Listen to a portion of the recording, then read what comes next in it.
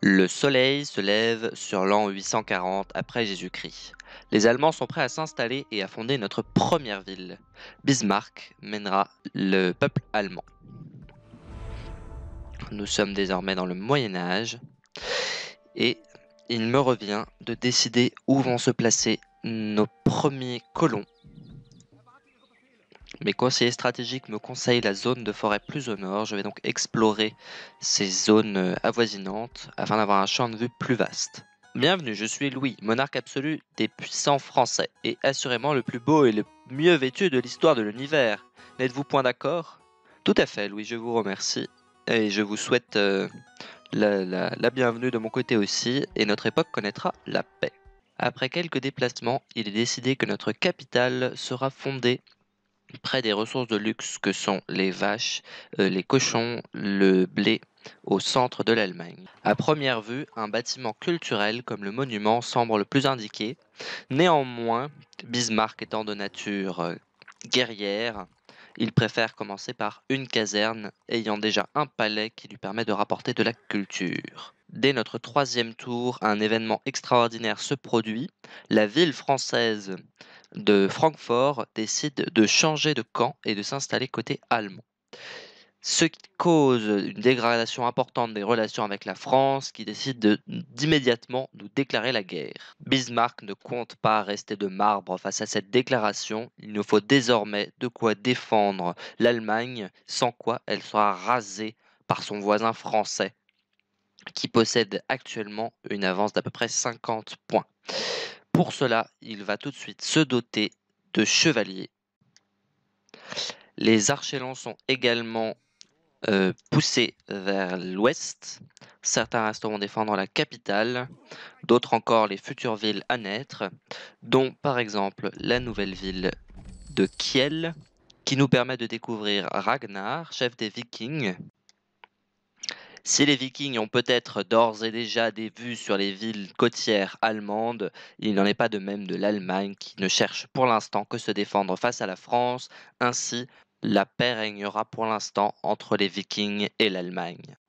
Nous devons maintenant choisir la production de la ville de Kiel, qui cette fois-ci sera un monument, puisque la ville ne possède pas de production de culture grâce à son palais, tandis que la ville de Francfort que nous avons pu obtenir grâce à ces Français rebelles qui sont passés de notre côté, elle produira tout d'abord un archélon. La nouvelle de la naissance de notre grand État qu'est l'Allemagne a attiré de la main-d'œuvre qui désormais travaille dans nos campagnes. L'exploration des terrains avoisinants par nos multiples unités nous ont permis de situer deux emplacements intéressants pour une ville.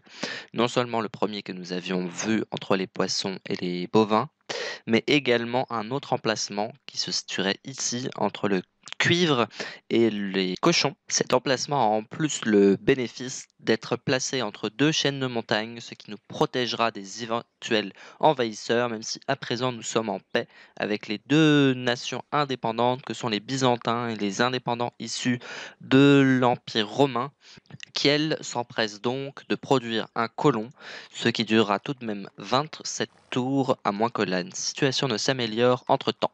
Notre quatrième ville est fin prête à être fondée.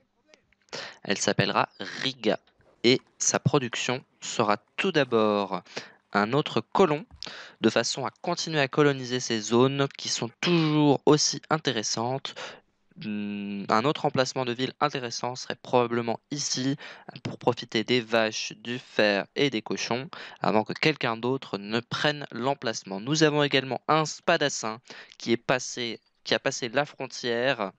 Qui est le cru Ce sont les Allemands qui les premiers passent le Rhin et découvrent le territoire français, alors que les Français, eux, n'ont probablement qu'une vague idée du territoire allemand, à l'exception de la ville de Francfort, qui jusque-là était française. Malheureusement, les défenses euh, en place sont relativement nombreuses. Deux archélons pour défendre Paris, un spadassin et deux soldats avec hache. Les forces allemandes ne permettront probablement pas de prendre Paris.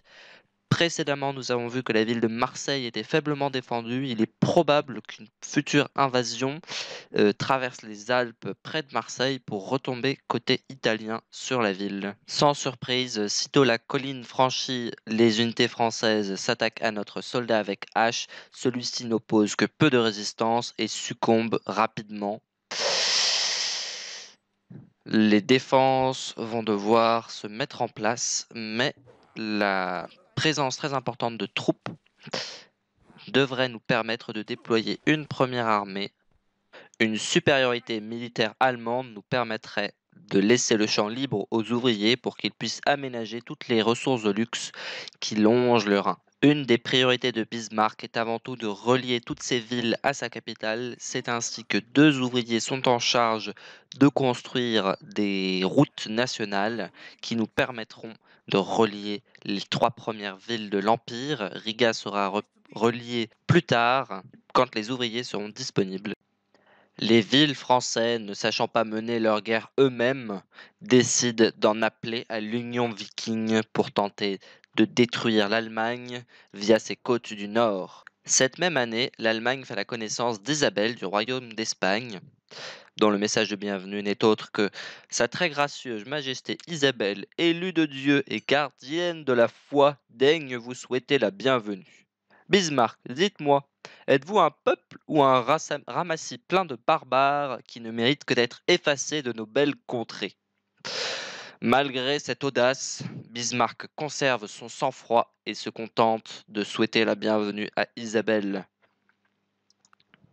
Nous faisons également la connaissance d'Élisabeth, reine du royaume d'Angleterre, qui, plus favorable, nous accueille dans son palais et se présente en tant qu'Élisabeth, sage et resplendissante reine des puissants d'Angleterre. Ne voulant pas risquer la chute de son pays, Bismarck ne n'ose pas répliquer quoi que ce soit à la reine d'Angleterre et convient d'un accord de paix. Notre première armée à franchir les montagnes en direction de Marseille se trouve face à une défense relativement faible. Malheureusement, les soldats avec hache et le spadassin placé sur la colline à proximité de Marseille risque probablement de rentrer dans la ville, ce qui nous empêcherait de prendre la ville si faiblement défendue actuellement. Les troupes françaises ne rejoignent pas toute la ville. Malheureusement, nos probabilités de victoire sont tellement faibles que Bismarck n'ordonnera pas l'attaque des villes françaises, mais au contraire un repli stratégique des troupes de l'autre côté du Rhin. Certains villageois de Kiel sont aperçus de la présence de troupes fraîchement débarquées qui semblent être des vikings venus du nord.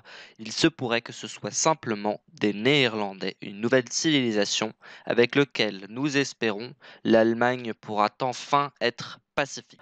Nos explorations plus au nord nous permettent de découvrir les débuts de l'empire de Pierre le Grand, tsar de Russie, qui nous accueille en se présentant en tant que Pierre le Grand, qui règne sur la Russie.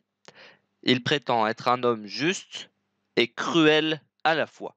Pierre le Grand étant le premier à ne pas menacer les Allemands dès leur première rencontre, il semble que sa cruauté envers sa population ne soit pas un important inconvénient pour l'établissement de liens entre l'Allemagne et la Russie. Quelques années plus tard est fondée la ville russe de Novgorod à proximité des villes allemandes. Les Allemands décident donc de dépêcher un archer long à proximité de l'emplacement de la ville qu'ils voudraient construire le plus à l'est avant que les Russes ne décident de coloniser toute la zone, les Russes possédant en tant que nouvel État beaucoup de colons.